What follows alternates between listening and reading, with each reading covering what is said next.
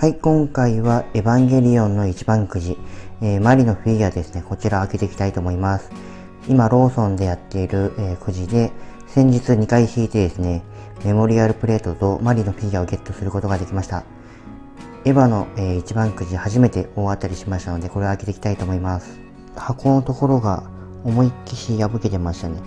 まあ、未開封だとは思うんですけども、ちょっとここは残念でした。はい、開けてみました。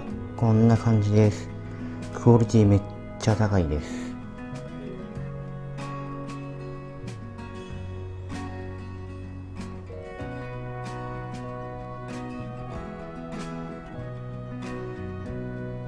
はい、後ろもこんな感じです。ちょっと手のところが雑い感じがしますけども、700円なので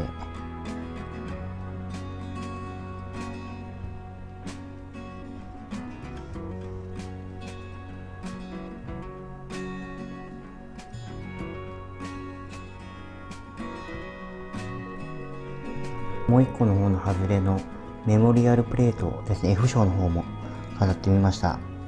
これは自分で選べたんですけども、このシーンが好きだったので選びましたね。なんでこのシーンから次ああなったのかっていうところで、なかなかいいシーンでした。はい。今回は、初めて自分で、えーと、手に入れたフィギュアですね。一番くじのフィギュアを上げてみました。えー、クオリティも結構高かったですね。えー、自分で手に入れたのですごい大満足です。ありがとうございます。はい、テープはこんな感じです。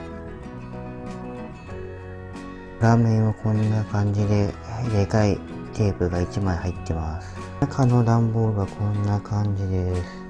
ここもテープで留められてます。中はこんな感じでした。意外とこのクッションが入ってたのが意外でしたね。丁寧になっていて、あとは、ここら辺は開封済みかどうかすぐわかるようになってます。